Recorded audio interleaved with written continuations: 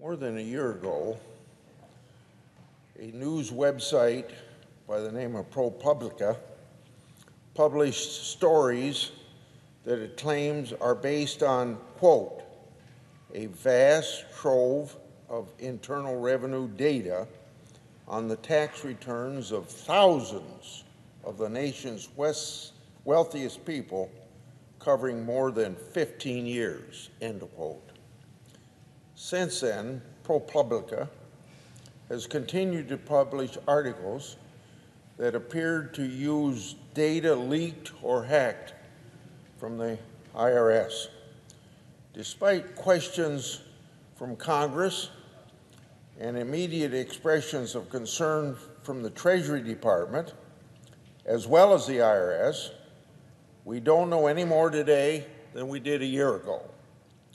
Even though these apparent leaks of confidential taxpayer information appear to target the wealthy, not just the wealthy, but all taxpayers and anyone who cares about the effective tax administration should be very concerned. The fact is, until we get answers, we don't know if anyone's tax return or other information submitted to the IRS is actually secure. At the end of the 2022 filing system, more than 145 million individual income tax returns were filed with the IRS. Right now, we don't know if there is a current vulnerability to the IRS systems that makes this personal information accessible within the IRS or to bad actors outside of the IRS. We do not know if a foreign nation with hostile intentions is responsible for a leak or hack of taxpayer information or the full scope of the IRS information that may be involved. Just because ProPublica has found it politically useful to publicly disclose your private taxpayer information doesn't mean that your tax information hasn't been compromised. As I said earlier, in June of 2021, concern was immediately expressed in the Congress and the Treasury Department. Almost that very day, Congressman Rettig appeared before the Finance Committee. In fact, it was that very day that the first story was published. Commissioner Rettig said, and I quote, I think the trust and the confidence in the Internal Revenue Service is sort of the bedrock of asking people and requiring people to provide financial information. And we have, as I said, turned it over to the appropriator, appropriate investigators, external and internal, end of quote.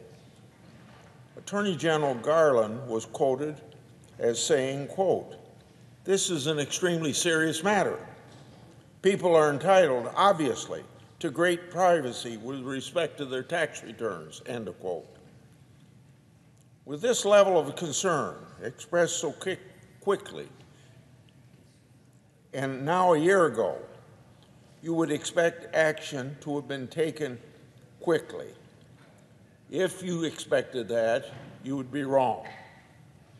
Despite several letters sent by this senator and other members of Congress, we don't know any more today about what appeared and happened than we did last year on June the 8th when this situation began.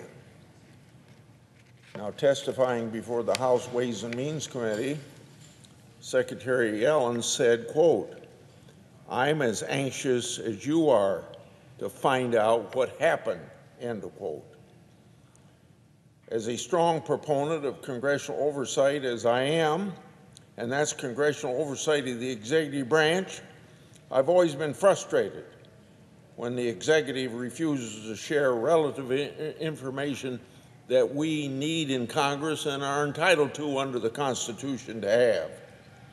Secretary Yellen's statements suggest a more disturbing possibility where the executive branch completely lacks the sought after information.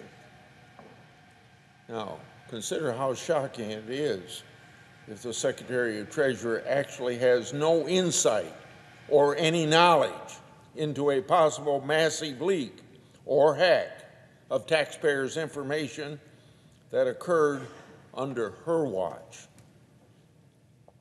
In order to determine if any action has been taken, I, along with other Republican members of the Judiciary Committee, wrote to Attorney General Garland and FBI Director Wray on June 24th of this year to ask what the status of any investigation was, and that's the second time we're trying to get this information. I know the Department of Justice is capable of taking action quickly when the Department of Justice wants to. I've written to the Attorney General several times about the memo that he issued in response to a letter from the National School Board Association. The school board letter compared parents to domestic terrorists. It took the Department of Justice only five days, which included a weekend, to inject federal law enforcement into local debates with concerned parents. Clearly, the Attorney General is capable of taking action very quickly, and, but that seems to only be when an administrative priority is of concern.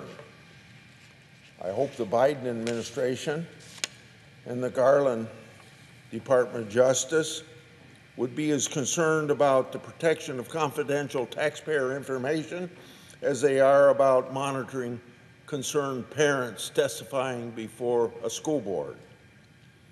If the Department of Justice and FBI want to show that they take the confidentiality of taxpayer information seriously, they can start by fully and completely responding to my letter of June 24th, which hasn't yet been responded to. More than a full year with a complete files, filing season is too much time to have gone by without any information on this leaking of taxpayer information provided to any extent. Democrats constantly spoke of the need for fairness in any tax system as they pushed through partisan tax and spending bills. Yet we've heard barely a peep out of our Democrat colleagues on what may be the largest unauthorized disclosure of tax information in history. While we continue to wait for answers, we've learned another massive breach of taxpayer information. On the first Friday of September, we learned the IRS mistakenly published on its website private information from about 120,000 taxpayers. According to Politico, the disclosure consisted of, quote, details from business tax returns filed by tax exempt organizations and retire, retirement accounts, including people's names, business contact information, and income, income produced by certain investments, end of quote. Clearly, the ability of the IRS to safeguard taxpayer information is still an ongoing issue. This new revelation should sound should light a very big fire underneath the FBI to get at the bottom of the ProPublica leak or hack. Attorney General Garland and FBI Director Wray must fully respond to my letter and help all of us really understand if our tax system is safe and secure.